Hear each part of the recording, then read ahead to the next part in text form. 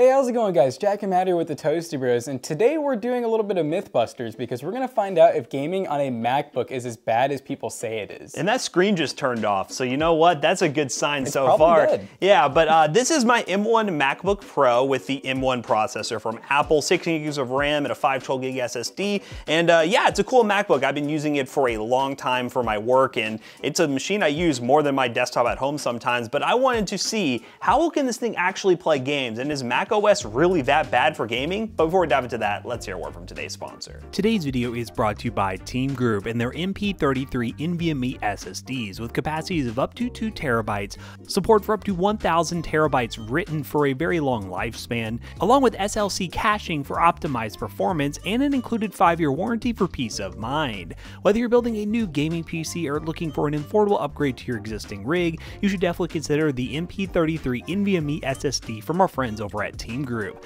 Learn more by checking the link down below and big thanks again to Team Group for sponsoring today's video. So a couple of quick disclaimers. So number one, we're not Mac experts. You know, Matt's the only one who really uses a Mac. I've been on them numerous times, but I've never actually personally had one as a daily driver, so our knowledge is limited, so be nice to us in the comments. And secondly, this is a newer MacBook with an M1 chip, so it's not on the Intel chips like they used to be, so doing things like boot camp are almost impossible slash a lot harder now. So we have found some workarounds. Some of you in the comments that are diehard Mac fans might know a lot more about this stuff. We're just using what our limited knowledge has given us. So with that M1 chip, we're rocking an ARM processor. So going the traditional boot camp route of having a dual boot with Windows and Mac doesn't really work very well. So you have to use some crossover programs or basically additional compatibility layers for you to use that M1 chip in, let's say, Windows. Um, and also, because it is an Intel based, you are doing some, well, emulation of Intel architecture with some supported games on Mac OS. But for Windows compatibility, actually use Windows to extend beyond that. We're using Parallels 18,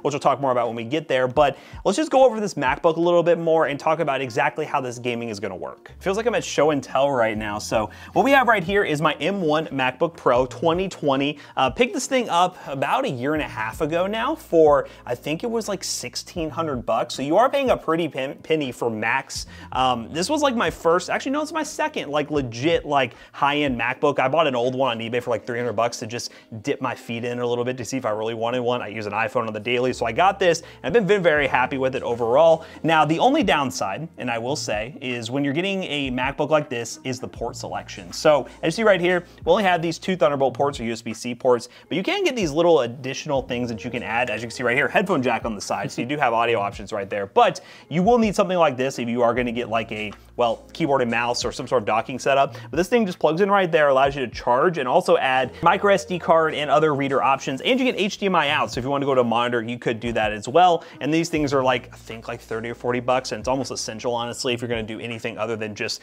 basic work using the trackpad. But the thing that we're gonna be doing here with this MacBook is we're gonna be doing a lot of native gaming using the M1 chip. There are some games in Steam, which I could probably go ahead and pull up. Let's see. Okay, so as you see right here, when you install Steam on a Mac, it will automatically default to this little Apple logo right here to show the games that are actually compatible. But the thing is, not all these games are compatible with M1 chips. So a lot of them will actually run um, on like older Intel MacBooks. But when it comes to this M1 architecture or the M1 series in general, it's totally different on how things work. I was able to install a couple of games that actually worked. I tested this before I brought it in today. We have uh, Balloons, which is uh, needs an update, obviously. Balloons is an easy game, no problem there. CSGO, Hollow Knight, and Stardew Valley. So really you're just gonna get like one shooter game basically, CSGO. I wanted to do Fortnite because Fortnite obviously, but there's like a feud going on with Fortnite and Apple right now. It's banned from the App Store and it just doesn't get updates on Mac. So yeah, you can download it. I actually downloaded the whole 90 gig version of Fortnite and then it just launches and you just can't do anything with it. So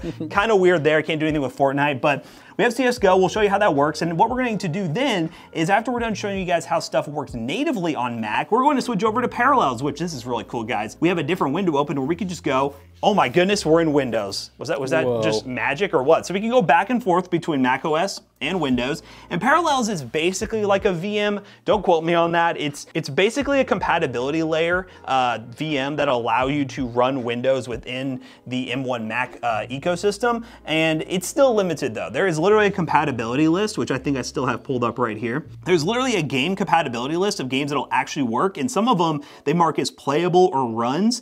Um, Apex Legends was one I wanted to install because Jackson likes to benchmark it a lot, but if you go all the way up here, if you go right here, it is marked as playable, but when you actually click on it, it says it's unplayable on crossover, which is a compatibility layer option we could have went with. But in terms of virtualization using parallels, it's only playable, but you can't play online because of the anti-cheat. So it's really cool that there is a list of 400 games that you can go out of your way to see if they actually work. But again, it is way more complicated than just buying a Windows laptop. All this is just for those who really want a MacBook for the reason you want a MacBook, the ability to sync up with your phone, your Apple Watch, have that whole ecosystem that people brag on about, but be able to do some gaming on the side. But we will be playing some games that are supported in the Parallels virtualization like suite that we have right here. And those games will be Halo, Killing Floor 2, and Left 4 Dead 2. Killing Floor 2 is labeled as perfectly playable. Left 4 Dead 2 is labeled as playable. I never really clicked on what the problem was, so we'll figure that out ourselves. And a bunch of the Halo games were marked as playable as well, so we'll try that. But let's just go ahead and play some native gaming and see how that goes.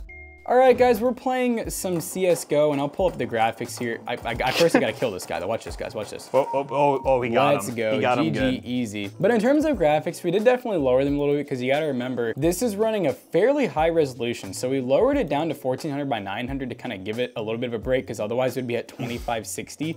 So we'd be basically at, at half of 4K, which is definitely no bueno on something like this. And then for advanced video, we're pretty much on like high settings, but you could definitely lower them a good amount and that'd probably help. But hey, this is CSGO. We're not gonna lower settings mid-game because you know what happens. I have noticed there are a lot of like optimization issues to where like lowering settings doesn't necessarily give you that much more performance when I at least was messing around with it. CSGO seems to be selling out a little bit better though, getting at least 60 FPS, but there are like drops here and there. Oh, you I've just got alt. hit Oh, I, dude, I got the, the cheater up. on that auto. And one thing to mention too is we are running off battery. When you are using like a gaming laptop normally, you can max everything to high performance mode and you would, well, get uh, the most performance you can and the battery will drain, but uh, not necessarily with max, like plugging in really won't give you any more power. Ooh, that was a good one. That was a one, nice. I'm bringing back the Deeg. Bring back the Juan 1D. Deeg. Yeah, no, I mean, you know what's weird is it feels like um we've seen this happen on systems before where like it starts off bad but it gets better. It's almost like it has to like load. It's progressing. There you go. This, is, this was Jackson's go-to when he first started CS. the this is the sawed-off. only gun that I knew. The only thing that's like weirding me out, and I don't know if maybe I'm putting my hand above the trackpad. I keep getting like random spots where like the mouse doesn't want to work right. It might not have good palm rejection where like you're like hitting the trackpad. yeah.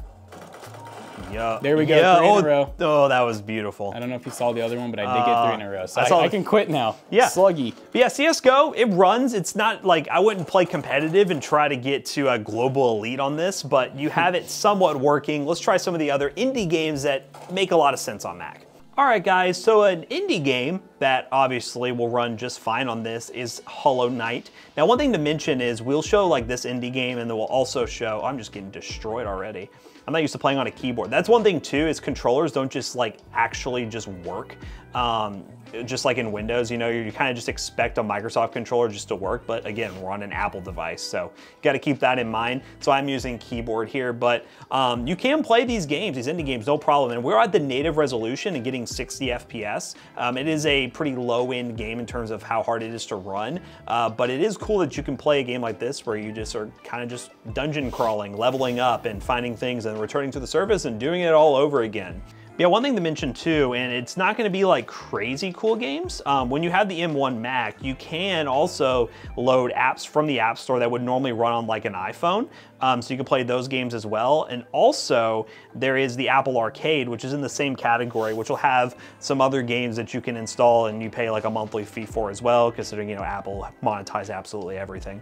Um, but there is an Apple Arcade where you can get games from. So there are gaming options with stuff like this, but uh, with you guys watching this video, you're probably thinking the more traditional gaming like Fortnite Warzone and stuff, which we're trying to do. It's just there is limited uh, functionality that you can actually do, especially with the M1. It makes it a lot harder, even compared to the Intel chips. Hey, we did it, woo! But yeah, games like this, no problem whatsoever. I'll show you all another example real quick. I don't really want to dive too much into the gameplay. Games like Stardew Valley run great, so we'll just show you how that works real quick. Now the last game we're showing real quick on M1 is a game like Stardew Valley. Again, you're kind of talking like mobile game territory where it's super easy to run and you can clean up your farm much better than mine is. It's, it's kind of a mess right now. Um, but yeah, I mean, the capabilities of this are pretty solid. Again, if you're looking to get a good gaming laptop, you don't want to buy a MacBook for that. It's not intended for that. Um, there are the new M1 Pro chips that will actually give you uh, better GPU performance. So even in parallels or natively, you'll get better performance. Um, so you could go that route if you wanted to. But again, I, I really do preach that Apple just doesn't care too much about gaming, so they really don't do much optimizations for it. They use their laptops for work and that's pretty much it, and just general usability, not gaming. So if there was a day that Apple decided to focus more on gaming again, it would be pretty cool, but at this moment, this is really what you get. But with some trickery and parallels, Parallels 18 is what we're using, by the way, for those watching in the future, we can actually load some games that are supported as we mentioned in the beginning. And what we're gonna do is try a game called Killing Floor 2, which is a very popular title. Well, not really that popular anymore. It was a game that we really liked years ago and actually has good playability apparently. Um, I did launch it once last night before we did this video today and it worked, but it was a little laggy, a little bit of stutter here and there, similar to how CSGO was, but let's go ahead and switch over to Parallel. All right guys, we're in Parallels now, running Killing Floor 2. It's been out for a little bit now. I think it's been, uh, this makes me feel old. What has it been, like probably seven years maybe? Something like that. But yeah, it's not running bad. I'm curious if this is gonna do a CSGO thing. Like it's very similar, so like there's a lot of random stutters, and it might get better as the game goes on. Yeah, guys, this this was a uh, this was a Toasty Bros classic. Before Toasty Bros or Toasty Bros, Killing Floor 1, Killing Floor 2. You know what, let us know in the comment section down below. What's your classic go-to game? What's your classic? What'd you play back in the day? Oh man, oh, you're... Punch, punch! He's in a bad... Ooh, but I can do this though. These guys can't even catch me. Oh, you can't zoom in when you're in the air? See, now I'm, this is starting to feel like some COD zombies. I'm gonna run a train in here. Ooh, and then grenade in game? No, it's this guy. It's this Hans Volter. Hans. Hans Volter.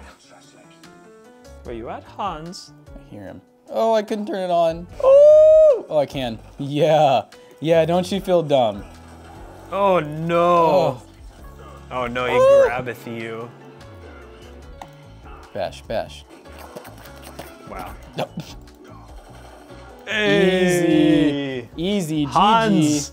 All right, now here's what you have to do, guys. Whenever you win this, you gotta start throwing your dosh.